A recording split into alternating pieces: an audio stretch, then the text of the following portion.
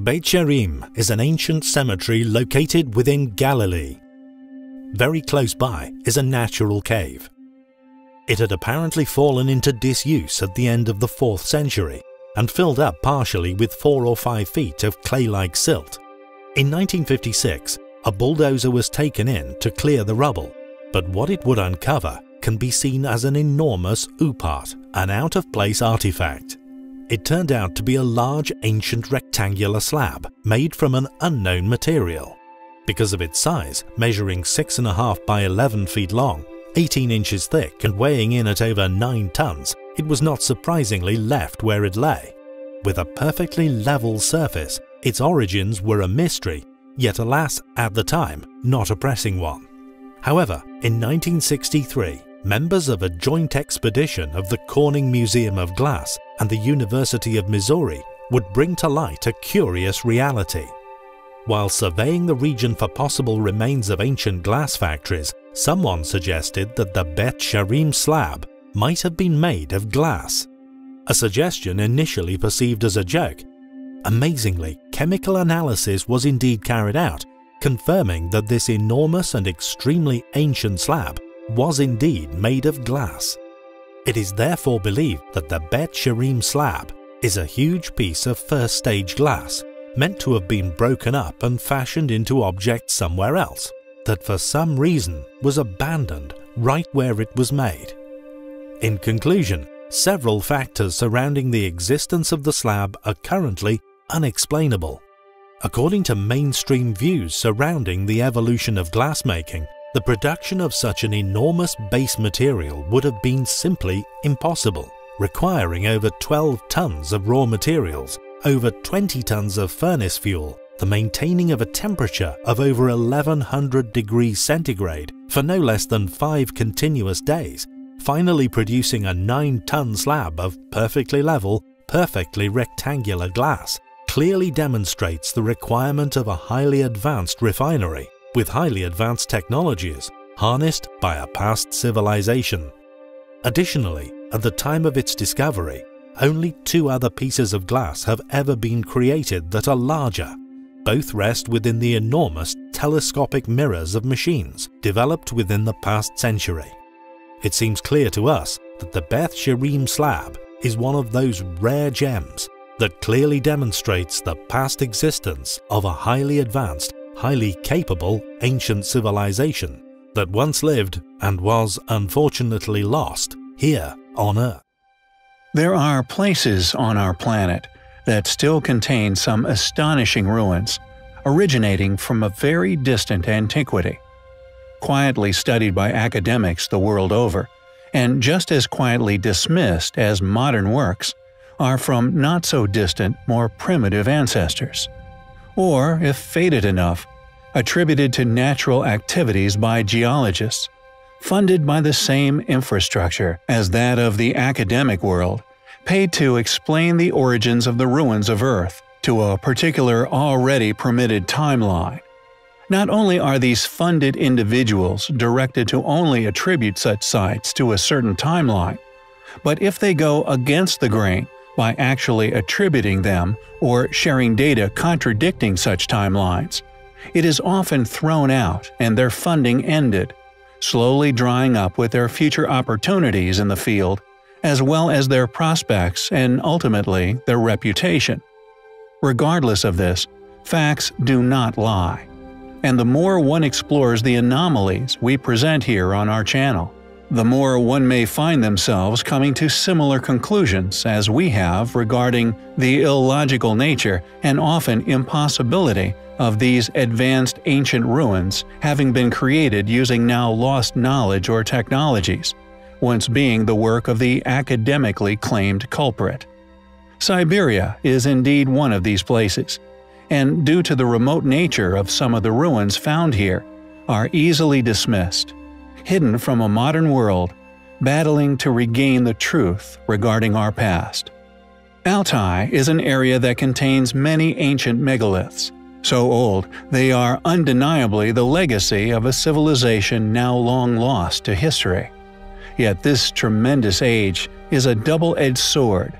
Not only could they eventually reveal, like done during current studies of the antiquities already covered on the channel, reveal that ruins found across the globe just don't date from a single civilization, but are, in fact, the work of separate civilizations who have presumably been and gone at different times, making the flourishment of man, and indeed our eventual decline, a cyclical occurrence.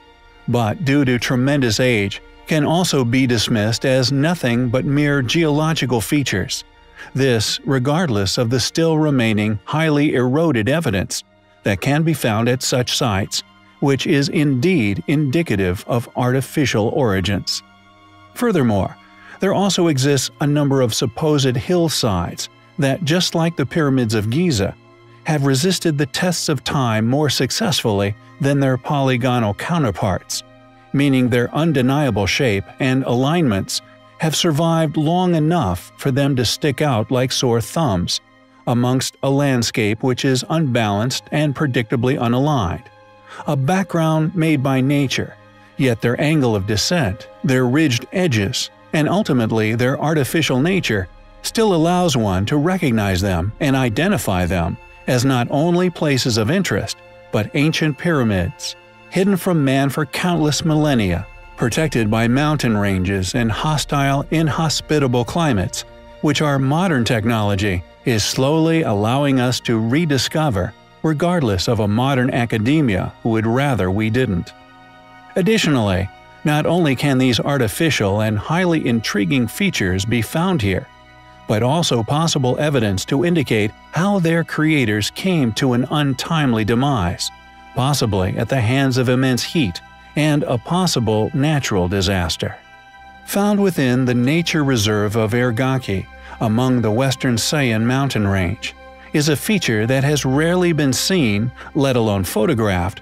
An entire side of one of the mountains was, at some time within the distant past, turned to magma during an event yet to be understood.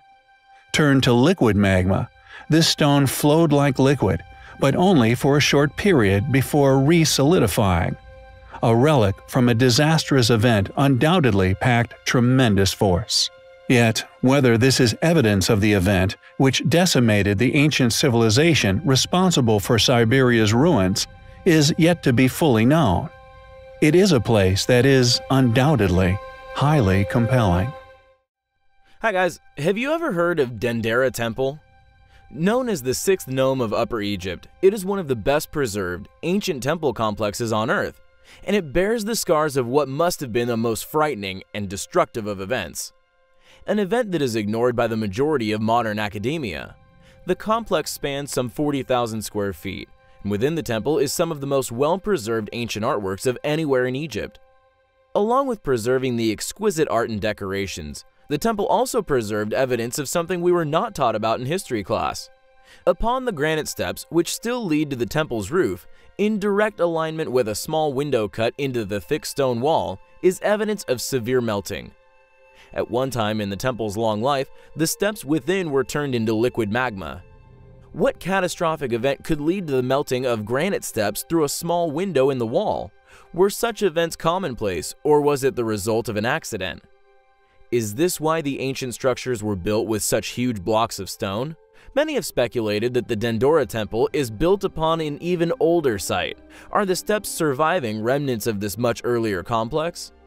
Were they part of a structure that once witnessed a solar flare, perhaps? Or maybe a localized supernova? Many who have examined the steps and the surrounding area have speculated that nuclear blasts may have been detonated within ancient Egypt, or even before. The ancient site in India, for example, 10 miles west of Jodhpur, with radiation that was so intense the area is still highly dangerous. An ancient layer of radioactive ash was discovered that covers a 3 square mile area. Scientists investigating the site where a housing development was being built established that there was a very high rate of illnesses in the area. The levels of radiation were so high the Indian government eventually cordoned off the entire area. They later unearthed an ancient city, which shows strong evidence of an atomic blast dating back some 12,000 years, which destroyed most of the buildings and killed an estimated half a million people. Did nuclear war occur in our distant past? Were these ancient structures, which have stood the test of time, actually built as bunkers? With melted steps and irradiated ancient cities found throughout the world, the evidence is certainly compelling. As always, thanks for watching guys. Until next time, take care. Five miles south of Saqqara in Egypt, what was once an enormous structure, at one time in its distant past, was somehow turned into rubble from the top down. As if something made this once gigantic pyramid explode. Resting in a location away from normal tourist routes, it is a testament to Egypt's extremely mysterious history. Scholars believe the pyramid was probably built during the reign of the 4th dynasty king, named Neferu. It is believed by some that the pyramid may have been started by Neferu's predecessor, Huni.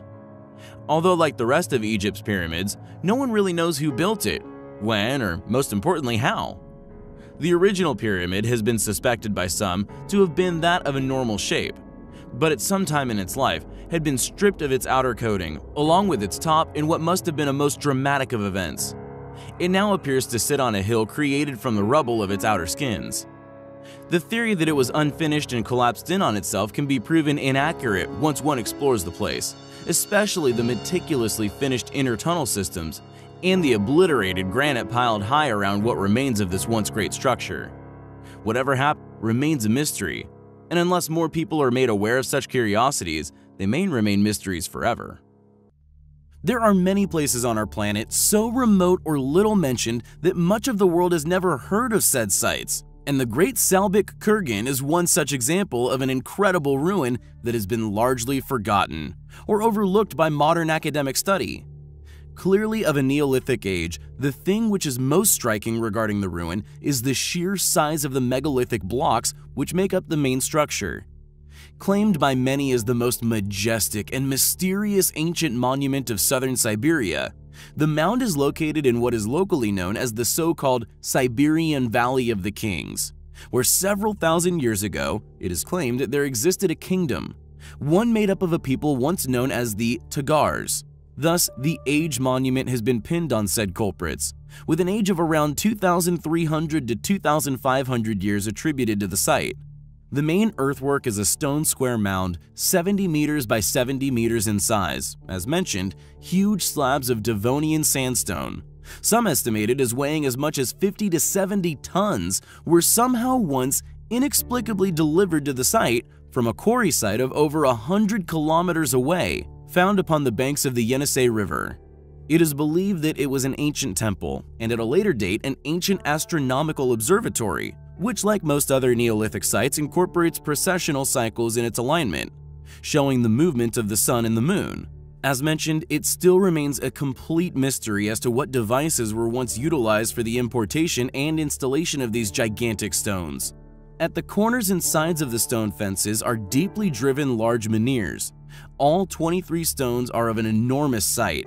Measuring up to a height of 6 meters, they're clearly smoking guns flying in the face of upheld academic fallacies. The rare excavations and explorations noted as having been undertaken at the site note that before the construction of the giant earth embankment and its accompanying stone fence, there was a crypt of logs in its place, once in the form of a truncated pyramid. This whole crypt can be found inside the huge earthwork, preserved beneath, untouched, yet covered with a thick layer of bark. The crypt had the height of 2.5 meters in depth of 2 meters of water covered the pit. It is claimed that around the burial zone, for a long time, a strong anomaly has continually been observed. The study of these phenomena has indeed been engaged by scholars, but the pace of said explorations has been suspiciously slow-paced. Who built the Great Salbik Kurgan? How were these huge stones transported to the site and once driven into the earth at the site? What is this quote, strong anomaly? More investigation and popularization of the site is desperately needed. It is a place which we find highly compelling. Thanks for watching guys, and until next time, take care.